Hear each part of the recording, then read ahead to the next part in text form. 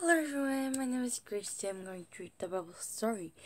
Today's the Bible title is Chapter 16 잃어버린 양을 찾은 착한 목자 누가복음 15장 하루는 예수님이 제자들에게 착한 목자에 대한 이야기를 해주셨어요.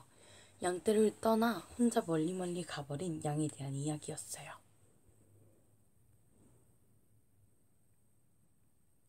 Chapter 16 I got a good shepherd friends a, a lost sheep.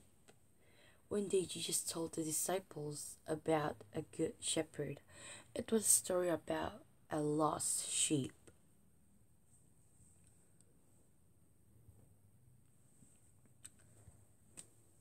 양은 다른 친구들에게 멀리 떨어졌어요. 집으로 가는 길을 찾을 수가 없었어요. 길을 잃어버린 거예요. 맴, 맴. 양은 주인을 찾을 수가 없었어요. 여기가 어딜까요? 양은 무서웠어요. The sheep left its friends and was lost. It couldn't find a way. It couldn't find its shepherds. The sheep was scared. So the um there was a sheep and he, it lost the way.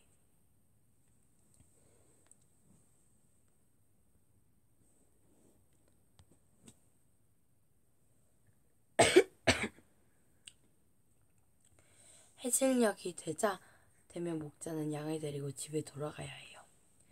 들판에 있다가 곰이나 사자가 나타나면 양이 죽거나 다치게 되니까요. 한 마리, 두 마리, 세 마리, 아흔아홉 마리 이상하다? 분명 백 마리인데 몇 번이고 다시 세어봐도 목자는 그의 없어진 양 목자는 그의 없어 양이 없어진 것을 알았어요. 이제 목자가 집에 돌아가려고 양을 세고 있는데 한 마리가 없어진 거예요.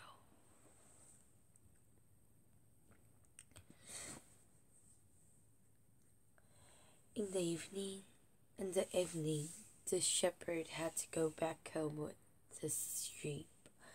He had to protect his sheep from lions and bears. He counted them to make sure they're all there. One, two, three, ninety-nine. That's very strange. I need a hundred. The shepherd counted several times. He found out that one sheep was missing. So the shepherd didn't know that his um, sheep was gone, but like he was keep counting it. It, and he found the sheep was missing. Sorry, like my voice is very down now because it's twelve p a.m. Yeah.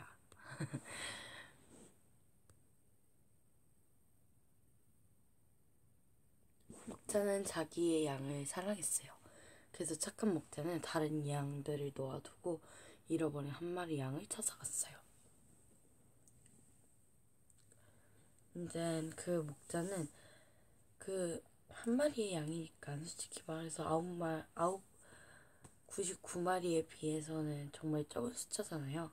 그런데도 그 한 마리의 양을 위해 다시 목자는 그 길을 향했어요.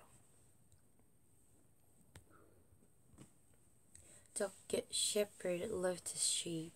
He left all the sheep behind and went out to look for the lost sheep.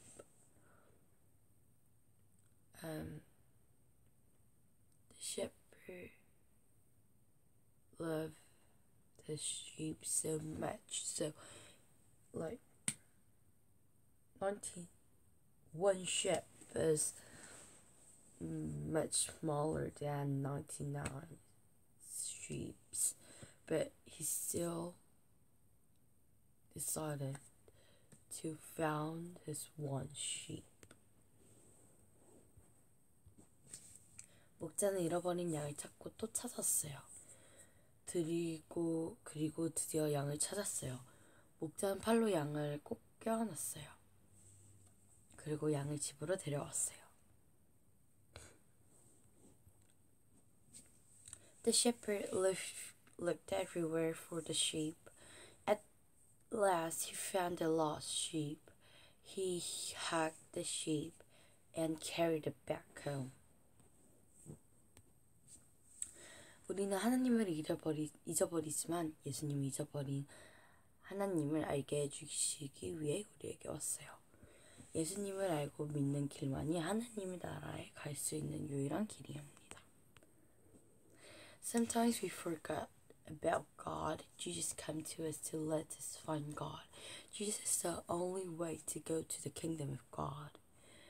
Yes, see, I read the Bible story. Did you enjoy? The next time I'll read another good story. Then let's see you next time. Bye.